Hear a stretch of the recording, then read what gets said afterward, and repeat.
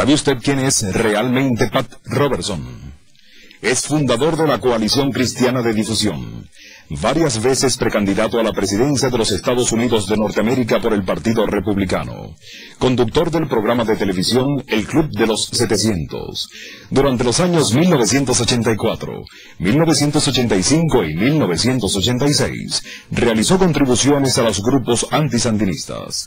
Fue responsable del envío de más de 2.000 pastores de su secta religiosa a las zonas de Honduras y Nicaragua habitadas por la etnia misquita con la finalidad de promover su rebelión en contra del gobierno legítimamente electo de Daniel Ortega y el Frente Sandinista.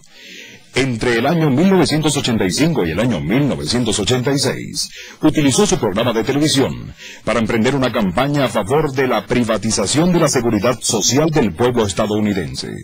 Según denuncias de diversos sectores, Pat Robertson es uno de los principales aliados de la Asociación del Rifle, agrupación de la extrema derecha, que exige al gobierno de Washington la libertad absoluta en el uso de armamento.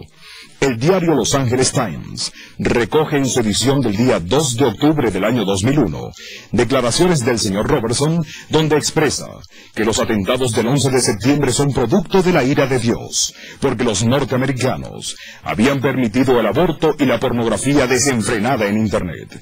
En el año 1999 viajó a Guatemala para apoyar política y financieramente al candidato presidencial derechista Francisco Bianchi, quien fue asesor de Efraín Ríos El cual instauró un sangriento régimen de facto en este país centroamericano. Este es verdaderamente Pat Robertson.